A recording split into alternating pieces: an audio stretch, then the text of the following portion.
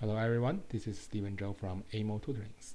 Today we're going to talk about how to uh, graph uh, trigonometry functions. Okay, a lot of students has a problem with this part because it is so much work in paper. Okay, for example, we have a function like cosine 2x plus pi over 6 plus 5. So which is a cosine functions increase by 5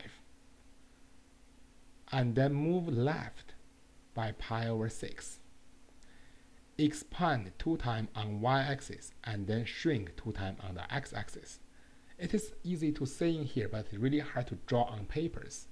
Okay, This is why I invented duck and sheep rules.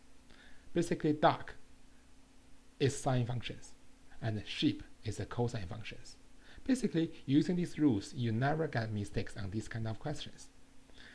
Okay, so this is how we do that part. First thing, we draw a coordinate, and then instead writing y equal to 0 or x axis here, we're writing y equal to 5 because the whole function, whole cosine function is increased by 5 unit. So y equal to 5 here. Okay, the 2 is amplitude. So we drawing a guideline here, which is 7 here because 5 plus 2. And then same thing here. Which is equal to 3. Okay, now we're done with the 2 and 5 here. The hard part is how to deal with the period inside. Okay, let's expand these things first. 2x plus pi over 3, which is times the 2 inside here.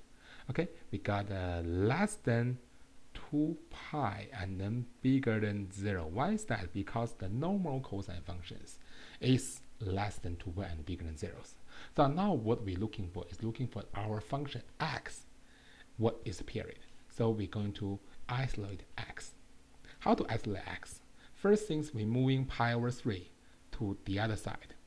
2 pi minus pi over 3. And then this will be 0 minus pi over 3 okay and then we got a 2 pi a 2x less than 66 pi over 3 minus pi over 3 will be 5 pi over 3 and then bigger than negative pi over 3 and then we divide by 2 both sides will be x less than 5 pi over 6 and then bigger than pi over 6 negative. Okay now we isolate x. This period, this range is our new period of these functions. So we just randomly pick a point here. For example, here, we just call it 5 pi over 6. And then I move left because it's negative pi over 6.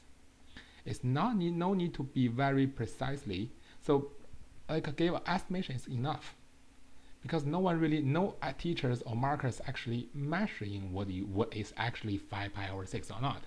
Okay, and then we just finding here, finding the middle point in this place. And then what we drawing? It's a cosine functions. Cosine function is a shape.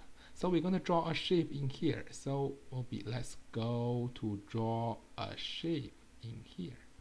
There we go. And then sorry about the draw, uh, graphing here. Okay, so it's supposed to be touch here. Okay, uh, so that is a cosine functions with this one.